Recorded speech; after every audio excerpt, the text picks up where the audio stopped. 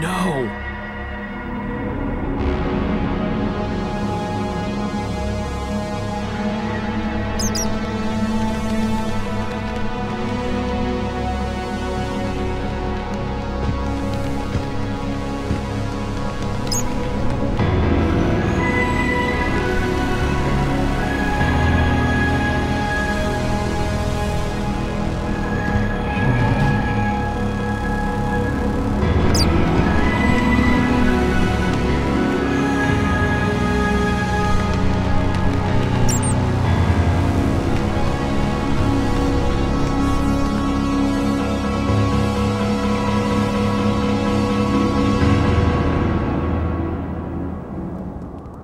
What do you guys want to bet that's where the primary terminal is? The giant floating tower with no clear entrance?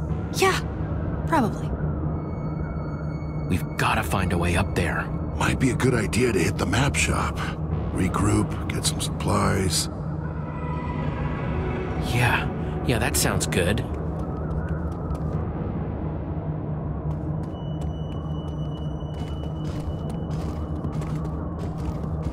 Guys, admin. And he's with Axel and Olivia. We gotta hide. Typical. Heading exactly where we wanted to go. Then I guess we just can't get caught. Why exactly are we having a whole festival devoted solely to you? Do we really have to go up on stage with you in front of everyone? Enough! You two are gonna need to do a lot less talking and a lot more agreeing if you want to be a part of Beacon Town. Not so sure I do, actually. In fact, we were just about to head home. I'd be very careful if I were you guys, or there might not be a home to go back to. At all. It's just so easy for something bad to happen to a town. Like Champion City, for example. And boop!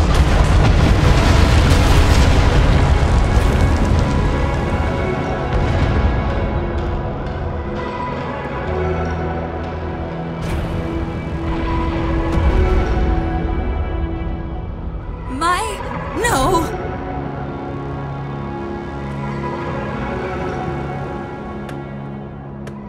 I had hoped there was still a chance of redeeming Romeo.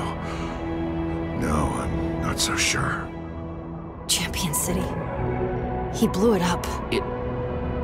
That can't have been real, right? It must have been another one of the admin's tricks. I don't think so, Jesse.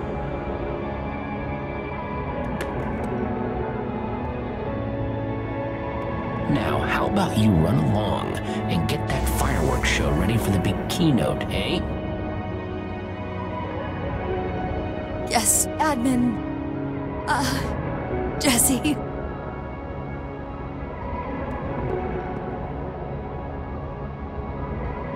I think the admin's distracted. Yeah, we should grab Axel and Olivia while we have the chance.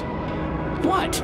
You were always so worried about Champion City, and now, one less thing to worry about. My. my friends and. my. Psst, Olivia, Axel.